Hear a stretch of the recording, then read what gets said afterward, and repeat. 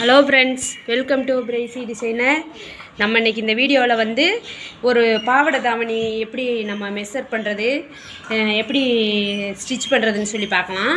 இது வந்து ஒரு சேரீயை கொண்டு வந்து பாவாடை தாவணி தைக்கிறதுக்காக பாவாடையும் ப்ளவுஸும் தைக்கிறதுக்காக கொடுத்துருக்காங்க. இதை என்ன பண்ணலாம் அப்படின்னு கேட்டாங்க. இதில் ஒரு ஐடியா சொல்லுங்கள் அப்படின்னு சொல்லி இந்த கலருக்கு வந்து தாவணி வாங்க சொல்லியாச்சு. இது வந்து நல்ல ஒரு பிங்க் கலரு. இந்த பிங்க் கலருக்கு வந்து தாவணி மட்டும் வாங்கிக்கோங்க. இந்த இந்த இந்த பார்டர் வச்சு பஃப்பு வச்சு தைச்சிடலாம் ஸ்லீவில் இது வந்து பாவாடையாக தைச்சிடலாம் அப்படின்னு சொல்லி சொல்லியாச்சு. இப்போ இதை வந்து எப்படி கட் பண்ணுறதுன்னு பார்க்கலாம். நார்மலாக வந்து நமக்கு பாவாடை தாவணிக்கு வந்து ரெண்டரை மீட்ரு தான் தேவை. பாவாடைக்கு வந்து ரெண்டரை மீட்ரு இருந்தால் போதும். ஆனால் நான் இது வந்து சாரினால் மூணு மீட்ரு எடுத்திருக்கேன். ஃப்ளீட்ஸ் வந்து கொஞ்சம் அதிகமாக வைக்கலாம் அப்போனா. சாரினால இது வந்து நம்ம எவ்வளோ வேணாலும் எடுக்கலாம். மூணு மீட்ரு வச்சு நான் இதை வந்து கட் பண்ணி எடுத்துக்கிட்டேன். இப்போ இதை வந்து மேல் பக்கமாக இது மேல் பக்கமாக வர்ற மாதிரி போட்டுக்கோங்க. டிசைன் இருந்துச்சுன்னா அந்த டிசைன் வந்து மேல் பக்கமாக வர்ற மாதிரி போட்டுக்கோங்க. இதில் பார்த்தீங்கன்னா ரெண்டு பக்கமுமே இந்த சேலையில் பார்டர் இருக்குது இந்த பார்டரை மட்டும் நம்ம கனெக்ட் பண்ணோம்னா இந்த டிசைன் வந்து இதில் போட்டிருக்கிற இந்த டிசைன் வந்து தலைகீழாக திரும்பிடும் இதுக்குள்ளே பார்த்தீங்கன்னா ஒரு ஃப்ளவர் இருக்குது க இதில் வந்து ஒரு ஃப்ளவரு ஒரு பீகாக் டிசைன் அந்த மாதிரி வந்து டிசைன் கொடுத்துருக்காங்க. அதை வந்து மேல் பக்கமாக வர்ற மாதிரி வச்சுக்கோங்க. வச்சுட்டு இப்போ இதை வந்து நாலாக மடித்து போட்டிருக்கேன் நான். பாவாடைக்கு மெஷர் பண்ணுறது வந்து மேலேருந்து எடுக்காதீங்க. கீழே இருந்தே எடுங்க. இதுதான் கீழே பார்டரு நமக்கு. இதை வந்து லேசாக இந்த பார்டரை இப்படியே விட்டுறக்கூடாது. விட்டுட்டோம்னா இந்த இது இந்த கரக்கெட் வந்து சீக்கிரமாக பிரிஞ்சுட்டு கிழிஞ்சு வந்துடும் அதனால வந்து இது சேரீயாக இருந்தால் இதில் வந்து நம்ம ஃபால்ஸ் வச்சு தைச்சிருவோம். இதில் வந்து அப்படி தைக்க முடியாதனால நம்ம என்ன பண்ணுவோம்னா இதில் வந்து ஒரு ஒரு இன்ச்சுக்கு லைட்டாக அப்படி மடித்து தைச்சிடணும் தைச்சா தான் இது பார்க்க அழகாக இருக்கும். அதனால அந்த ஒரு இன்ச்சு விட்டுட்டு அப்படி இங்கேருந்தே மெஷர் பண்ணிக்கோங்க. இது வந்து பார்த்தீங்கன்னா அவங்களுக்கு இடுப்பு இது உயரம் வந்து பாவடையுடைய உயரத்தை ஃபஸ்ட்டு மெஷர் பண்ணிக்கோங்க. பாவாடையுடைய உயரம் வந்து இருபத்தொம்போது இன்ச்சி நமக்கு தேவை இருக்குது கீழே அந்த ஒரு இஞ்சியை விட்டுட்டு அதுலேருந்து அப்படியே டேப்பு வச்சு அளங்க இருபத்தி ஒம்பது இருக்குது ஆனால் இது வந்து இடையில டக் பிடிச்சி விட சொல்லியிருக்காங்க. டக்கு பிடிக்கிறதுனால வந்து அப்படியே அந்த இருபத்தொம்போது இஞ்சி எடுத்துக்கலாம். பெல்ட்டுக்காக பாவாடையுடைய பெல்ட்டுக்காக நம்ம வந்து இந்த அளவை கம்மி பண்ண வேண்டாம். அப்படியே வேணும் அப்படின்னு சொன்னாங்கன்னா நம்ம வந்து அளவு கம்மி பண்ணிக்கலாம். அது வந்து டக்கு பிடிக்கிறதுனால இந்த இருபத்தி ஒம்பது அப்படியே எடுத்துக்கலாம். ஒரு மூணு இஞ்சி நம்ம வந்து பெல்ட்டு ச இந்த பாவாடைக்கு வந்து பெல்ட்டு வச்சு தைக்கும்போது அந்த மூணு இஞ்சியை வந்து டா நம்ம அப்படியே கம்மி பண்ணி பிடிச்சி விட்றலாம் இப்போ இந்த இடத்துல வந்து நேராக அப்படி கட் பண்ணிடுங்க அப்படியே. கட் பண்ணி விட்டுட்டு லைட்டாக கட் பண்ணிவிட்டு இதை இப்படி நாளாக இப்போ மடித்து போட்டிருக்கோம்ல இதை வந்து அப்படியே ஒத்தையாக எடுத்து விட்டுருங்க. எடுத்து விட்டுட்டு அப்படியே நேராக கட் பண்ணிக்கோங்க. நாளாக மடித்து போட்டு கட் பண்ண வேண்டாம். உள்ளே இருக்கிற பீஸு தள்ளி இருந்துச்சு அப்படின்னா அப் அண்ட் டவுனாக வந்துடும் கண்டிப்பாக அதை வந்து மெஷர் பண்ண முடியாது. இதை ஃபுல்லாத்தையும் அப்படியே நெட்டாக கட் பண்ணிவிட்டு அப்புறம் காட்டுறேன். இப்போ வந்து இதை நேராக நம்ம இதை வந்து கட் பண்ணி எடுத்துட்டோம். இப்போ பார்த்தீங்கன்னா நமக்கு இந்த பாவாடையுடைய உயரம் வந்து முப்பத்தி எட்டு இன்ச்சு வேணும். அதை வந்து அப்படியே இருபத்தி ஒம்போதில் வச்சு எடுத்தேன். அதை வந்து அப்படியே கட் பண்ணி எடுத்தாச்சு. இப்போ இதுக்கு மேலே என்ன பண்ண போகிறோன்னா இப்படியே இது ஒரே கலராக வராமல் இதில் மேல் பக்கத்தில் வந்து இந்த பார்டர் இருந்ததுல இந்த பார்டரை வந்து அப்படியே இதுலேயே ஜாயிண்ட் போட்டு இந்த பார்டர் வந்து மேலேயும் கீழேயும் நம்ம வர்ற மாதிரி வச்சு தச்சிடணும். இப்போ இதில் வந்து நம்ம ஃப்ளீட் இப்படி வச்சு ஃப்ளீட் இப்படி தைக்கும்போது நமக்கு இந்த இடம் வந்து அப்படியே அழகாக வந்துடும் இதுக்கு மேலே வந்து இந்த ப்ளூ கலர் கிளாத்தில் நம்ம பட்டி போடும்போது பார்க்குறதுக்கு நல்லா லுக்காக இருக்கும். இப்போ நம்ம இதை வந்து கட் பண்ணி எடுத்துருக்கோம். இதிலேருந்து கட் பண்ணி எடுத்துருக்கோம். இப்போ இதுக்கு மேலே வந்து நம்ம இதில் ஒம்பது இன்ச்சி வந்து இப்போ நமக்கு தேவைப்படும். இந்த ஒம்பது இன்ச்சி பார்த்திங்கன்னா பார்டர் எவ்வளோ இருக்குன்னு பார்த்துக்கோங்க சேரீயில் நம்ம பாவாடை தைக்கிறது அப்படின்னா பாவாடை தாவணிக்குரியது இந்த டிசைனில் தைக்கும்போது சூப்பராக இருக்கும். இப்போது இந்த பார்டர் வந்து நமக்கு ஏழு இஞ்சி இருக்குது தையலுக்கு ஒரு அரை இஞ்சி போக ஆறரை இஞ்சி நமக்கு கிடைக்கும்.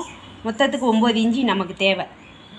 இந்த இடம் வரைக்கும் நமக்கு வந்து பாவாடையுடைய உயரத்துக்கு வந்துடும் இப்போ இதை வந்து ஃபஸ்ட்டில் நம்ம என்ன பண்ணணும்? இதோடைய நல்ல பக்கமும் இதோடைய நல்ல பக்கமும் சேர்த்து வச்சு ஃபஸ்ட்டில் இதை வந்து நெட்டாக ஒரு ஜாயிண்ட் போடணும். ஜாயிண்ட் போட்டுட்டு அதை காட்டுறேன். இப்போ வந்து இந்த துணி வந்து மேல் பக்கம். இதே மாதிரி இந்த நல்ல பக்கம் இது இது வந்து உள்பக்கம் இது வந்து நல்ல பக்கம். இந்த நல்ல பக்கத்து மேலே இந்த பார்டருடைய நல்ல பக்கத்தை இப்படி வைக்கிறோம். இப்படி வச்சுட்டு இப்படி ஜாயிண்ட் போடணும். இது எதுக்கு இப்படி பண்ணுறீங்க அப்படின்னா இது வந்து நல்ல டிசைனாக இருக்கும். இந்த மாதிரியெல்லாம் இப்போ வந்து விரும்புகிறாங்க பிள்ளைங்க.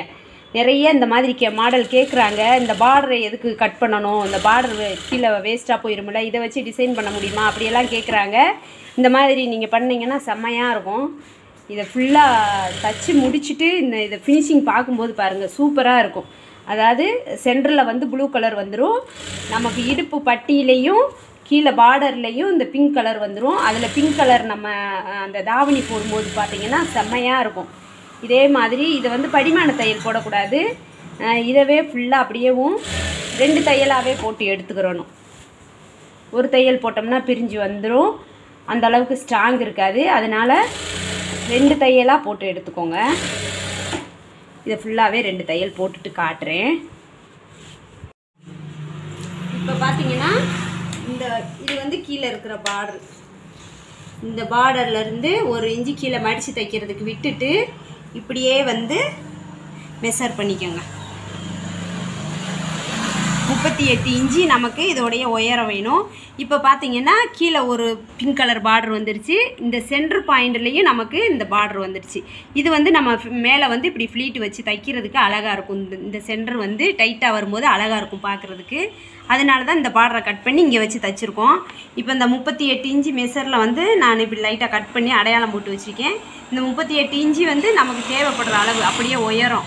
இது போக மேலே இருக்கிற இந்த மூணு இஞ்சி வந்து நம்ம பட்டி பீஸுக்காக இதை யூஸ் பண்ணுவோம். பட்டி பீஸ் போட்டதுக்கப்புறமா இந்த மூணு இஞ்சி வந்து நமக்கு கூடுதலாக இருக்கும். ஏன்னா ஆல்ரெடி நம்ம பாவடையில் வந்து இருக்கிற அளவு அப்படியே எடுத்துட்டோம் கம்மி பண்ணாமல் இந்த மூணு இஞ்சி நம்ம வந்து பட்டி போடும்போது அந்த மூணு இஞ்சி வந்து உயரம் கூடிரும்.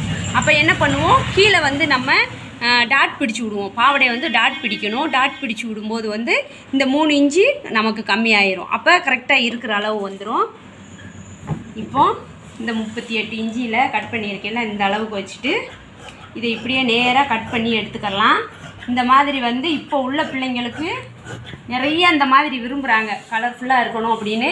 அதுவும் ஒரு சேரீயை ஃபுல்லாக கொடுத்து பாவாடை தைக்கும்போது ஐயோ இவ்வளவு இது வேஸ்ட்டு போகுதா? இந்த பார்டரை வேறு எதுக்கும் யூஸ் பண்ண முடியாதா? அப்படின்னு கேட்குறாங்க அதனால இந்த மாதிரி பண்ணிட்டோம்னா இந்த பார்டரும் நமக்கு இந்த டிசைனாகவும் கிடச்சிரும். பார்க்குறதுக்கு ரொம்ப அழகாக இருக்கும்.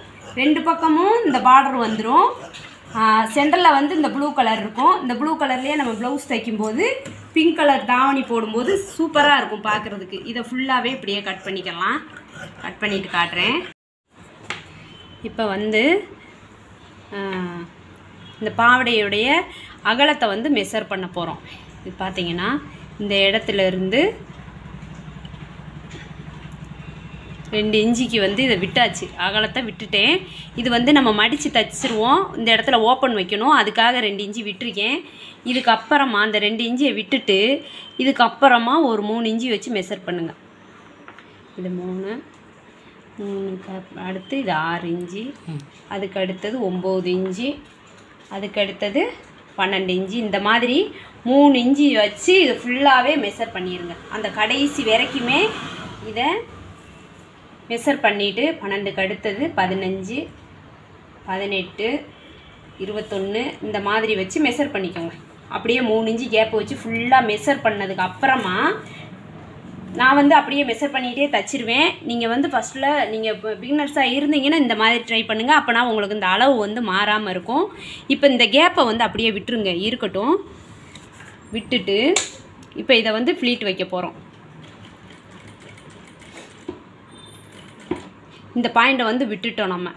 விட்டதுக்கப்புறமா இதை எடுத்து இது மேலே வைக்கிறோம். அதாவது இந்த சாப்பீஸ் பிடிச்சிருக்கோம் போட்டிருக்கோம்ல இந்த இந்த மார்க்கை வந்து இப்படி பிடிச்சிக்கோங்க. பிடிச்சிட்டு இந்த இடத்துல தூக்கி இதை வச்சுருங்க. வச்சுட்டு மேலே இருந்து இந்த பக்கம் அந்த கட் பண்ணியிருக்கிறதுலேருந்து ஒரு கால் இஞ்சி கேப்பு விட்டு இதை தையல் போட்டுக்கோங்க. அதுக்கு அடுத்தது வந்து இந்த இந்த பாயிண்ட் இந்த மார்க் பண்ணியிருக்கோம்ல இது. இந்த பாயிண்ட்டை எடுத்து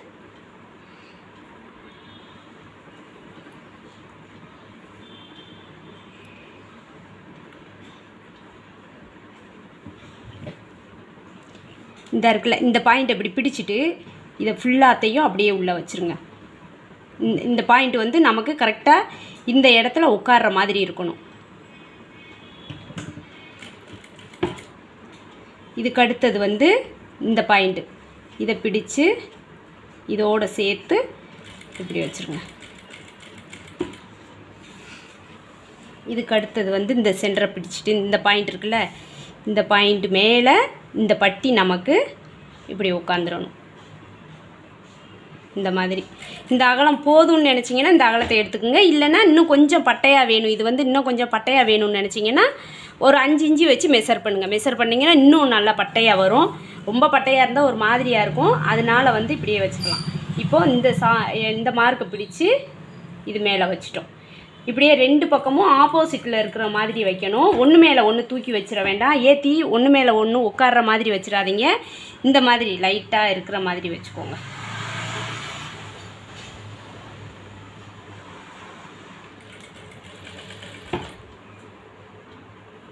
இப்போது இதை தூக்கி வைக்கிறோம்ல.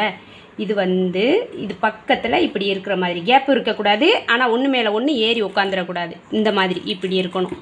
அப்போ தான் நம்ம இந்த இடத்த வந்து டாட் பிடிக்கும்போது சரியாக வரும். இதே மாதிரியே இந்த ஃப்ளீட்டு ஃபுல்லாக வச்சுட்டு அப்புறமா காட்டுறேன். இப்போ வந்து இதை ஃபுல்லாக நம்ம ஃப்ளீட் வச்சு முடிச்சிட்டோம். இதுக்கப்புறமா பார்த்திங்கன்னா இருபத்தி எட்டு இஞ்சி நம்ம இடுப்பு சுற்றளவு இருந்ததில் அந்த இருபத்தி எட்டு அஞ்சு இஞ்சிக்கு வர்ற அளவுக்கு இதை வந்து தச்சு எடுத்தாச்சு.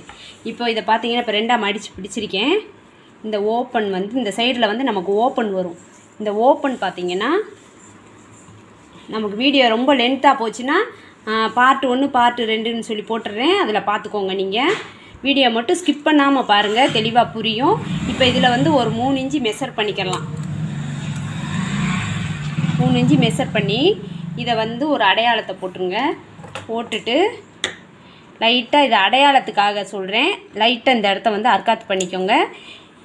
இப்போ இதுக்கு மேலே வந்து நம்ம கீழே வந்து ஜாயிண்ட் போடுவோம். இதுக்கு மேலே வந்து நமக்கு ஓப்பன் பிளேஸ் வரும். இதை வந்து இப்படி மடித்து தச்சிடலாம் இந்த இருக்கா? இந்த மாதிரி. ஸ்டார்ட் போட்டுக்கோங்க. இதில் வந்து ஒரு மூணு இஞ்சி பட்டியிலையும் நம்ம ஓப்பன் வைப்போம். அப்படிங்கும்போது இந்த ஓப்பனுடைய ஒ- இது உயரம் வந்து சரியாக போயிடும் உள் பக்கமாக பிசுறு பக்கமாக வர்ற மாதிரி வச்சுட்டு அப்படியேவும் இதை இப்படியே தைச்சி விட்ருங்க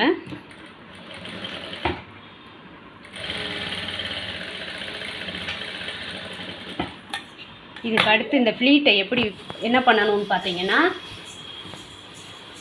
இந்த ஃப்ளீட் இருக்குல்ல இந்த ஃப்ளீட்டை வந்து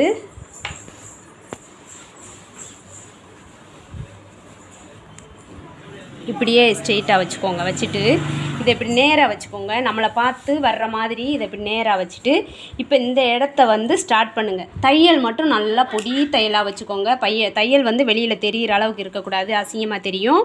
இப்போது இந்த ஃப்ளீட்டை வந்து நேர் பாயிண்ட்டாக வச்சுக்கோங்க. வச்சுட்டு இந்த இடத்துல ஸ்டார்ட் பண்ணுங்கள் ஸ்டார்ட் பண்ணி இதை எந்த அளவுக்கு எடுத்திருக்கோமோ அந்த அளவுக்கு நேராக அப்படி வச்சுட்டு இதை மெஷர் பண்ணோன்னா நமக்கு இந்த பார்டர் இருக்கிறனால நான் வந்து இது மெஷர் பண்ணலை. இப்படியே இந்த பார்டர் வரைக்கும் கொண்டு வர போகிறேன் நீங்கள் வந்து மெஷர் பண்ணோன்னா மெஷர் பண்ணிக்கோங்க. இப்போ வந்து இதை இப்படியே ஸ்ட்ரெயிட்டாக அப்படி கொண்டு வந்துட்டு இதை இப்படியே பிடிச்சிக்கோங்க. பிடிச்சிட்டு இப்படி திருப்பிடுங்க. திருப்பி அடுத்த ஃப்ளீட்டில் வந்து இந்த நீடில் ஏறிடணும். சும்மா லைட்டாக மட்டும் நிறைய திரு எடுத்துடாதீங்க இதை வந்து இப்படியே திருப்பிக்கோங்க. திருப்பிட்டு இப்படியே ஸ்ட்ரெயிட்டாக அதாவது இதில் கீழேயும் பார்த்தீங்கன்னா நமக்கு உள்ளே மடித்து வச்ச துணி உள்ளே இருக்கும். அந்த துணியும் நேராக வர்ற அளவுக்கு எடுத்து விட்டுக்கோங்க. இந்த பாருங்கள் இது வந்து உள்பக்கம். இந்த உள்பக்கத்தில் வந்து இந்த துணி அங்கிட்டு இங்கிட்டு நழுவிடக்கூடாது. ஒரு மாதிரி தூக்கி தெரியும். அதனால இது வந்து இப்படி நேராக இருக்கணும். அடுத்தது வந்து இந்த ஃப்ளீட்டு நம்ம எந்த இடத்துல எடுத்திருக்கோமோ அதுக்கு நேராகவே வந்து அப்படியே இந்த ஃப்ளீட்டை பிடிச்சிக்கிட்டிங்கன்னா கரெக்டாக வந்துடும் கொஞ்சம் பொறுமையாக பண்ணுங்கள் அப்போ தான் வந்து பார்க்குறதுக்கு நல்லாயிருக்கும் அப்படியே இப்படி ஸ்ட்ரெயிட்டாக வரணும். இந்த உள்ளே கொடுத்துருக்குற துணி வந்து உள்ளே எந்த அளவுக்கு மடிச்சிருக்கோமோ அது வந்து அப்படியே உள்ளே போயிடணும். இந்த மாதிரி. வச்சுட்டு இதுக்காக தான் லைட்டாக நான் வந்து கேப் விட்டு தைக்க சொன்னேன். ஒரு துணி மேலே ஒரு துணி உட்காராமல் அதுக்காக தான் தைக்க சொன்னேன். கரெக்டாக ஒன்று போல் அந்த பாயிண்ட் வர்ற மாதிரி. ஏற்றி இறக்கி அப் அண்ட் டவுன் வந்துடக்கூடாது அதே மாதிரி ஒரு பக்கத்தில் அகலமாக ஒரு பக்கத்தில் ஒடுக்கமாக அந்த மாதிரி போட்டுறாதீங்க. எல்லாமே ஈவனாக வர்ற அளவுக்கு தைச்சிக்கோங்க இப்போ ரெண்டு ஃப்ளீட் வந்து நான் தச்சு காமிச்சிருக்கேன். இது பார்த்தீங்கன்னா தெரியும் உங்களுக்கு. இந்த மாதிரி. அப்போ இதுக்கு மேலே வந்து நம்ம பட்டி வச்சு தப்போம். இந்த இடம் வந்து நமக்கு அப்படியே ஃபிட்டாக டைட்டாக உட்காந்துரும் இதே மாதிரி வந்து இதை ஃபுல்லாத்தையும் தைச்சிட்டு அப்புறமா காட்டுறேன். இப்போ பார்த்தீங்கன்னா இது ஃபுல்லாக இந்த ஃப்ளீட்டு ஃபுல்லாக நான் வந்து இந்த மாதிரி தச்சு எடுத்துட்டேன். இதை கரெக்டாக அந்த பாயிண்ட் வச்சுட்டு பாருங்கள் தச்சு முடிச்சுட்டு இந்த பாயிண்ட் வச்சு பார்க்கும்போது நமக்கு அப்படியே அழகாக தெரியும் பாருங்கள் இது. இங்கே பாருங்கள் எப்படி இருக்குன்னு. இது வரைக்கும் நமக்கு வந்து டைட்டாக வந்துடும் இதுக்கு மேலே வந்து பட்டி போடுவோம். இது வந்து இந்த பார்டரு கீழேயும் அதே மாதிரி இந்த சென்டரில் வந்து ப்ளூ கலரு கீழே வந்து இந்த பார்டரு இப்போ இதை வந்து நம்ம தச்சு முடிச்சிட்டோம். அப்போ தான் இந்த இடம் வந்து டைட்டாக கிடைக்கும் நமக்கு. இப்போ இதுக்கு அடுத்து என்ன பண்ணணும்னா இது வந்து மேலே பட்டிக்கான பீஸு இந்த பட்டி பீஸை வந்து ஃபஸ்ட்டில் வச்சு எடுத்துக்கோங்க ஒரு ஓரம் மட்டும். ஒரு ஓரத்தை மட்டும் தச்சு எடுத்துட்டு சும்மா ரப்பா ஒரு தையல் போட்டாலே போதும். இது வந்து உள்ள பிசுறு இல்லாமல் இருக்கிறதுக்கு தான். இப்போ இது வந்து துணியுடைய நல்ல பக்கம். இதே மாதிரி இதுவும் நல்ல பக்கம். இந்த நல்ல பக்கத்து மேலே இந்த நல்ல பக்கத்தை. இப்போ வந்து பாவாடை ஜாயிண்ட் போட வேண்டாம் பட்டி அடிக்கிறோம் நம்ம. இப்போ இந்த பாய் இதை வந்து அப்படியேவும் வச்சுட்டு ஒரு கால் இஞ்சி கேப்பு விட்டு அப்படியே இதை நெட்டாக தச்சுட்டு வந்துடலாம். நம்ம மேலே வந்து இந்த தையல் போட்டிருக்கோம் பாருங்கள் இந்த பட்டி வச்சு தைக்கிறத ஃபஸ்ட்டில் வந்து இந்த தையல் போட்டிருக்கோம்ல இடுப்பு பகுதியில். இந்த தையல் வந்து வெளியில் தெரியாத அளவுக்கு மட்டும் அது மேலே போட்டுக்கோங்க. அதில் வந்து வெளியில் தெரிஞ்சிச்சுன்னா கண்டிப்பாக அசிங்கமாக இருக்கும் பார்க்குறதுக்கு அதனால அந்த தையல் மட்டும் பிசுறு எதுவும் தெரியாத அளவுக்கு வச்சுட்டு அப்படியே தையல் மேலேயே போட்டுட்டோம்னா அந்த கடைசி வரைக்கும் கொண்டு வந்துடணும். வீடியோ மட்டும் ஸ்கிப் பண்ணாமல் பாருங்கள் எந்த வீடியோ பார்த்தாலும் ஸ்கிப் பண்ணாமல் பாருங்கள் சப்போஸ் புரியலை அப்படின்னா நீங்கள் வந்து ஒரு ரெண்டு மூணு டைம் வந்து திரும்ப திரும்ப அதவே பாருங்கள் உங்களுக்கு எந்த இடத்துல புரியலையோ அந்த இடத்துலையே திரும்ப திரும்ப நீங்கள் பார்த்தீங்கன்னா புரியும். இப்போ வந்து கட்டிங் வந்து ஒரு வீடியோ அப்புறம் தையல் வந்து ஒரு வீடியோ அந்த மாதிரி பார்த்தீங்கன்னா புரியாது. எது பார்த்தாலுமே கண்டினியூவாக ஒரே இதில் பாருங்கள் அப்போ தான் வந்து உங்களுக்கு புரியும். ஒரு ஒருத்தவங்க ஒரு ஒரு மாதிரி சொல்லி கொடுப்பாங்க. எல்லா இதை போட்டு உழைப்பிட்டு இருக்க வேண்டாம். இப்போ வந்து இந்த பாயிண்ட் வரைக்கும் கொண்டு வந்துட்டோம். இங்கே இருக்குது இந்த பாவடையுடைய பாயிண்ட்டு இதை விட ஒரு அரை இஞ்சி தள்ளி இதை வச்சு இப்படியே கட் பண்ணி விட்றலாம் எக்ஸ்ட்ரா இருக்கிறத.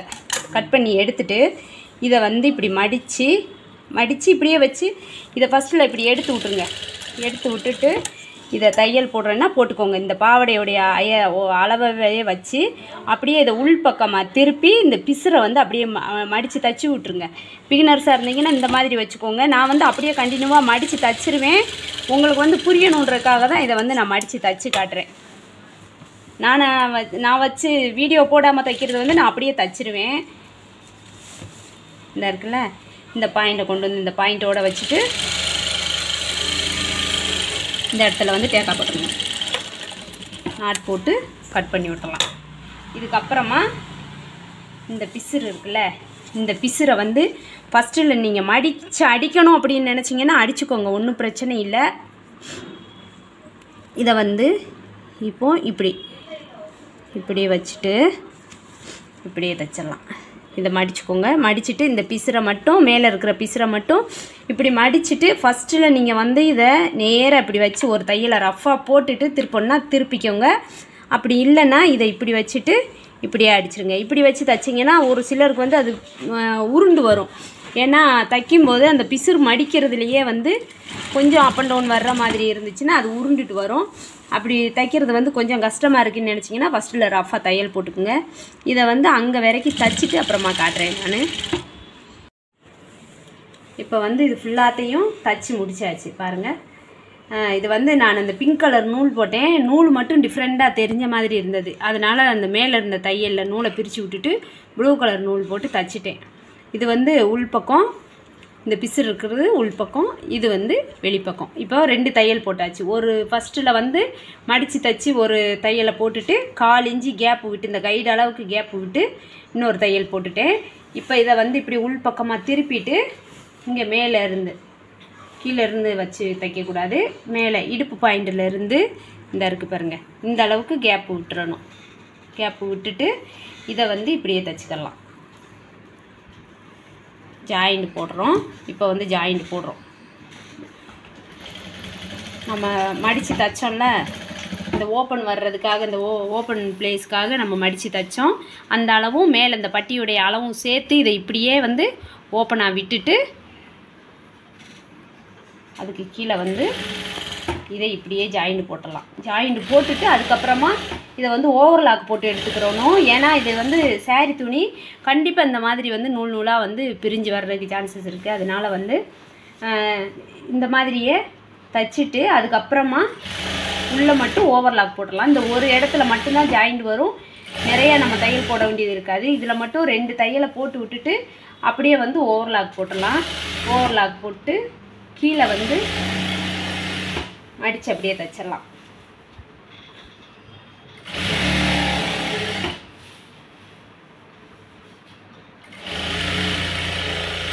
இந்த ஜாயிண்ட் போடுறதுக்கு முன்னாடியே கீழே பார்டரை வந்து மடித்து ஜாயிண்ட் போட்டுட்டு அதுக்கப்புறமா தான் மடிக்கணும்.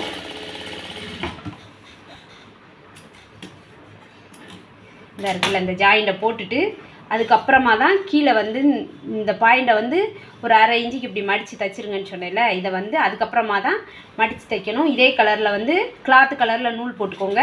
இதை இப்படியே மேல் பக்கமாகவே வச்சுட்டு ஒரு அரை இன்ச்சி மட்டும் மடித்து இப்படியே இந்த பார்டரை இப்படியே தச்சு விட்டுறலாம். இதில் வந்து ரெண்டு தையல் போட்டுருங்க. ரெண்டு தையலை போட்டு ஓவர்லாக் போட்டுக்கோங்க. இப்போ வந்து இது எப்படி இருக்குன்னு பார்த்தலாம் இதில் வந்து கொக்கி வைப்பாங்க. முக்கியமாக பார்த்தீங்கன்னா கொக்கினா எப்படின்னா ஜென்ஸுங்களுடைய ஃபேண்ட் கிளாத் இருக்குல்ல அந்த மாதிரி இந்த இடுப்பு பாயிண்டில் இந்த இருக்கு பாருங்க. இதை வந்து இப்படி எடுத்து மூடி வைக்கிற மாதிரி இதில் வந்து கொக்கி வச்சு கேட்பாங்க.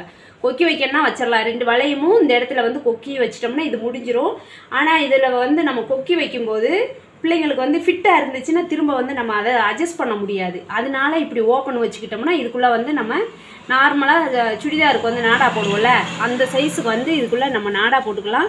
நம்ம இது பாவாடையை வந்து சுருக்கி கட்டும்போது ரொம்ப சுருக்கம் வராது. சும்மா லைட்டாக தான் வரும். ஏன்னா நார்மலான அளவுக்கு தான் எடுத்திருக்கோம். இருக்கிற அளவு ஒரு இஞ்சி தான் எக்ஸ்ட்ரா எடுத்திருக்கோம். அந்த ஒரு இஞ்சி வந்து சுருக்கம் வரும்போது ஒன்றும் செய்யாது. ரொம்ப இருந்துச்சுன்னா தான் நமக்கு உள் பாவாடை மாதிரி வந்துடும் அதனால் அப்படி இல்லாமல் இந்த மாதிரி பார்த்துக்கோங்க. இப்போ இதுதான் பாவாடை. ஃபுல்லாக தச்சு முடிச்சாச்சு. இதோடைய பொசிஷன் எப்படி இருக்குன்னு பாருங்கள் இந்த வீடியோ வந்து பார்த்துட்டு கண்டிப்பாக நீங்கள் தைச்சிங்கன்னா வந்து கமெண்ட் பண்ணுங்கள் நான் வந்து இந்த ப்ளவுஸும் தைக்கணும். இந்த ப்ளவுஸ் வந்து கொஞ்சம் டிசைனாக தான் தைக்கணும்.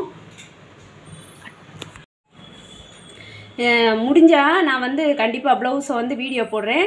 இப்போ நம்ம இந்த மேலே தச்ச இருக்கும் இப்போ இந்த இடத்துல பார்டர் வந்துருச்சு. இதை ஃபுல்லாகவே இப்போ எப்படி இருக்குன்னு பாருங்கள் அப்படியே மேலேருந்து கீழே வரைக்கும் பாருங்கள் இது எப்படி தெரியுது? அப்படி ஒரு அழகாக இருக்கும். இந்த சென்டரில் வந்து அந்த பிங்க் கலர் வந்ததுனால ரொம்ப அழகாக தெரியும் பார்க்குறதுக்கு. ட்ரை பண்ணி பாருங்கள் அடுத்த வீடியோவில் சந்திப்போம். பாய்